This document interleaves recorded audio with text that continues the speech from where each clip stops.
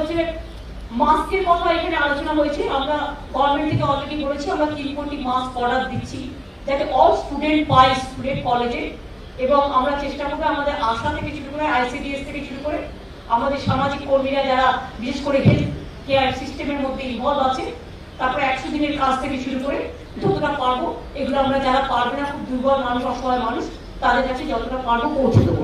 এটা গভর্নমেন্ট থেকে তিন কোটি মাসকে আমরা একটা অর্ডার দিয়েছি। আমরা চেষ্টা করি আর একটু লকডাউন বাড়াবার জন্য বাট আমাদের রিল্যাক্সেশন দেখি।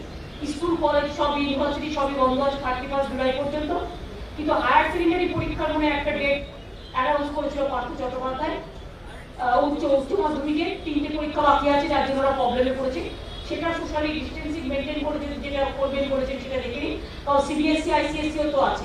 ওরাও announce কোর্টে করেছে। রয়েছে হ্যাঁ, হ্যাঁ, সুপ্রিম কোর্টে আছে দেখে নিন সুপ্রিম কোর্ট যেটা রায় দেবে দেখে নিন বাদ বাকি আমি মনে করি যে আমাদের যেমন চলছে গভর্নমেন্ট সেক্টরেও যেমন আমরা যেভাবে স্ট্যান্ডার্ড করে করছি, আমরা সেগ্রিগেট করে করছি, সেভাবেই করব।